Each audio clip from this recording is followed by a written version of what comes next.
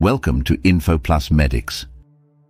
Dear viewers, when a patient is informed about a cancer diagnosis, it is a devastating and challenging moment. Therefore, some viewers, especially those whose loved ones are currently battling such diseases, may find this information distressing. It is important to note that these details are presented based on extensive medical research, facts, years of treatments and the eventual outcomes or results. In this video we will be talking about oligodendroglioma, a type of primary brain tumor, its cause, diagnosis, prognosis and treatments, etc.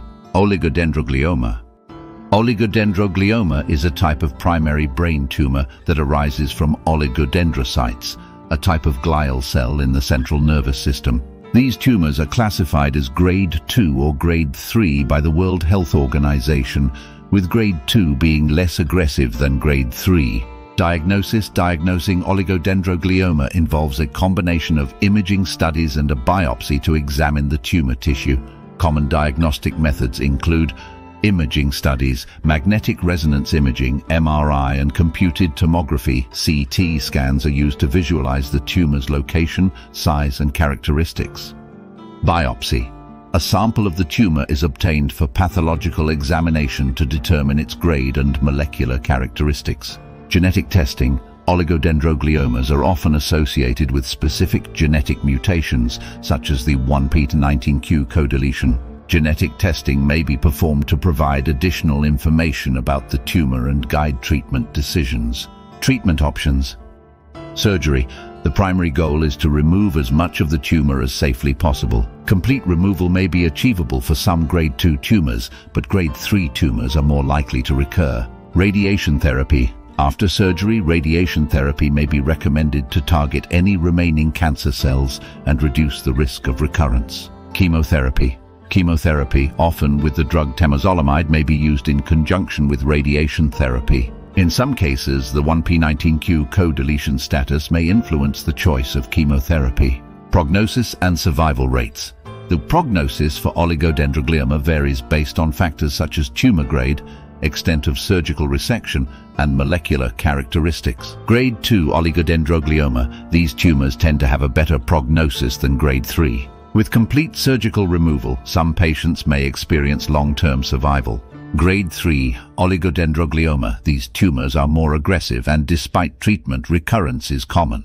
The 1p19q co-deletion is associated with a better response to chemotherapy and a more favorable prognosis. Survival rates for oligodendroglioma can vary, with some patients surviving for many years. Regular follow-up and monitoring are crucial to detect any signs of recurrence or progression. Challenges and considerations. Oligodendrogliomas can be challenging to completely remove due to their infiltrative nature. The genetic profile, especially the 1p19q co-deletion status, plays a role in determining treatment strategies and predicting outcomes. Clinical trials. Participation in clinical trials may provide access to experimental treatments and contribute to ongoing research aimed at improving outcomes for patients with oligodendroglioma. Individual cases can vary, and treatment plans should be tailored to the specific characteristics of each tumor and the overall health of the patient. It is important for individuals diagnosed with oligodendroglioma to work closely with a multidisciplinary healthcare team to determine the most appropriate treatment approach for their specific case. Remember, as medical treatments continue to advance, various countries adopt distinct treatment methods and in some instances treatment protocols may undergo changes. It is strongly recommended to stay informed and seek updated medical advice to ensure the most current and effective healthcare practices.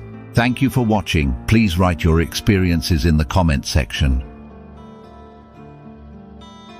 The information provided here is for educational and informational purposes only. It is not a substitute for professional medical advice, diagnosis, or treatment. Always seek the advice of your physician or other qualified health provider with any questions you may have regarding a medical condition. Never disregard professional medical advice or delay in seeking it because of something you have read or heard in this content. If you think you may have a medical emergency, call your doctor or emergency services immediately.